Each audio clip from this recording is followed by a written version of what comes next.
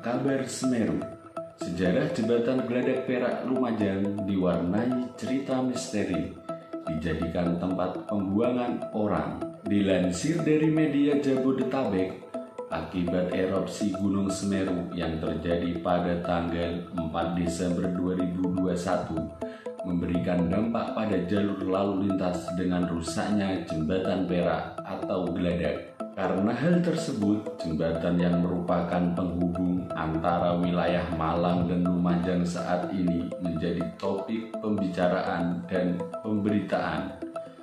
Perlu diketahui bahwa jembatan ini terdiri dari dua buah jembatan, yaitu jembatan lama dibangun pada masa pemerintahan kolonial Belanda dan sudah dinonaktifkan menjadi cagar budaya Sedangkan jembatan baru dibangun oleh pemerintah Indonesia dan diaktifkan sebagai jalur transportasi seperti yang diberitakan oleh kabarlumajang.com dalam artikelnya yang berjudul Sejarah dan Misteri Jembatan Geladak Perak Lumajang Malang yang dikabarkan longsor akibat Gunung Semeru meletus. Bagi yang belum mengetahui sejarah dari jembatan tersebut, inilah misterinya. Jembatan Perak atau yang lebih dikenal Geladak Perak dikabarkan longsong diterjang lahar dingin dari Gunung Semeru yang meletus. Jembatan legendaris Geladak Perak merupakan penghubung Lumajang dan Malang, persisnya di kawasan Tiket Nol, Desa Sumberwulu, Kecamatan Candipuro, Kabupaten Lumajang. Selain dikenal warga karena merupakan salah satu fasilitas penting penghubung antar wilayah, Geladak Perak juga menyimpan misteri yang tak kalah senter sebagai bagian dari sejarahnya. Dilansir dari kabar lumajang.com dari berbagai sumber, jembatan dengan panjang 100 meter dan lebar sekitar 4 meter ini dibangun pada masa pemerintahan kolonial Belanda di tahun 1925 sampai dengan tahun 1940. Geledak perak membentang di atas sungai Besuksat, Desa Sumberwulu, Kecamatan Candipuro, Kabupaten Lumajang, Jawa Timur. Sulit dibayangkan bagaimana proses pembangunan geladak perak di masa itu membelah bebatuan besar cadas dan letaknya yang berada di tepi jurang dalam. Di masa itu, alat-alat pembangunan juga masih sederhana.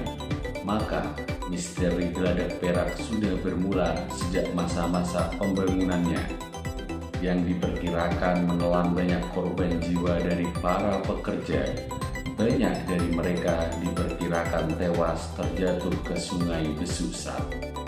Jembatan Geladak Perak pernah dihancurkan di masa Perang Kemerdekaan untuk memutus mobilitas tentara Belanda dari Malang ke arah Lumajang.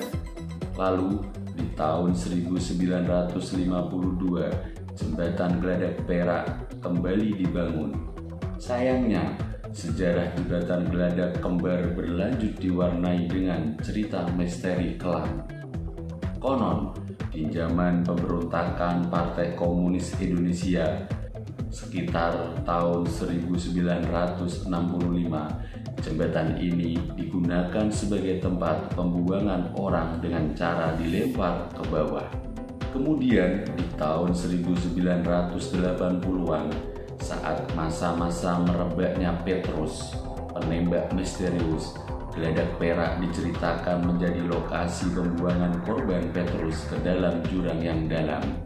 Tidak sedikit warga dan pengendara yang melintas jembatan ini mengaku melihat penampakan orang tiba-tiba muncul atau mendengar suara cerita dan minta tolong. Hal ini pula yang diyakini sebagai masyarakat sebagai penyebab banyak terjadinya kecelakaan di Geladak Perak selain karena tikungan yang tajam. Karena dinilai kondisinya sudah tak layak, Geladak Perak kemudian direnovasi oleh pemerintah di tahun 1998. Alih-alih membangun kembali, pemerintah memilih membangun jembatan serupa di sisi selatan jembatan Geladak Perak lama